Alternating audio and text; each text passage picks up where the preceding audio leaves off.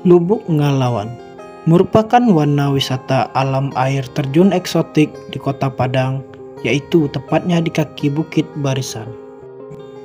Lokasi wisata alam ini pun terbilang strategis, yakni berada sekitar 25 km dari pusat kota, lebih tepatnya di kawasan Sungai Bangek, Kelurahan Balai Gadang, Kecamatan Kota Tengah, Kota Padang.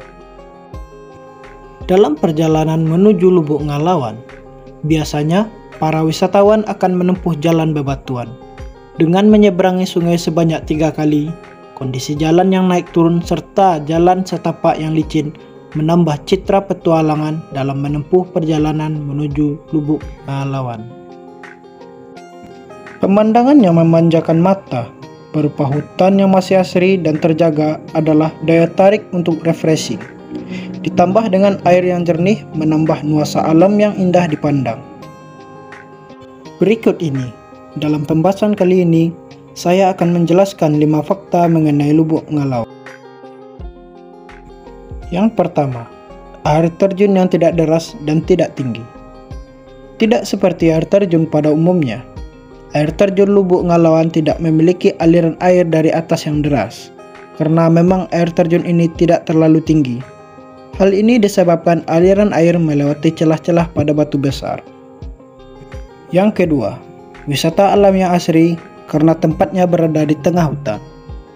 Air terjun Lubuk Ngalawan terletak di tengah hutan dan di antara perbukitan, sehingga untuk mencapainya kamu perlu berjalan dan menitipkan kendaraan terlebih dahulu di warung-warung warga. Dalam perjalanan ke lokasi air terjun, kamu akan berjumpa dengan perkebunan warga, melintasi dan menyeberangi sungai. Tempatnya yang berada di tengah hutan inilah yang membuat air terjun Lubuk Ngalawan tetap asri dan alami. Perjalanan yang cukup lama akan terbayarkan dengan keasrian dan kealamian wisata. Yang ketiga, terdapat kolam yang luas untuk berenang. Mandi di air yang jernih dan alami sangat menyegarkan, lebih-lebih setelah perjalanan cukup jauh. Hal inilah yang akan kamu rasakan ketika traveling ke air terjun Lubuk Ngalawan. Air terjun ini memiliki kolam yang luas yang cocok untuk dijadikan tempat mandi, bermain air dan berenang.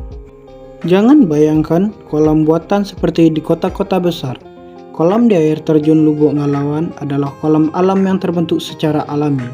Selain luas, Kolam di air terjun ini juga cukup dalam sehingga nyaman untuk berenang. Airnya pun sangat bersih dan jernih serta dijamin kealamiannya.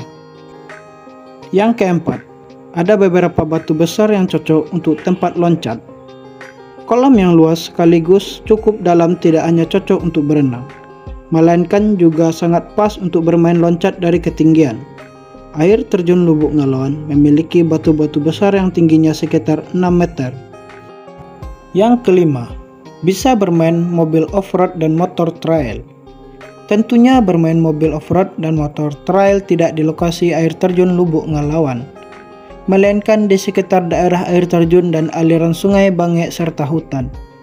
Akan sangat mengasihkan apabila setelah berlelah-lelah bermain mobil off-road dan motor trail, kamu membasuh tubuh sekaligus menyegarkan diri dengan mandi air terjun Lubuk Ngalawan atau sepanjang aliran sungai Bangek. Setelah mengetahui beberapa fakta mengenai Lubuk Ngalawan, saya akan berikan video terkait objek wisata Lubuk Ngalawan.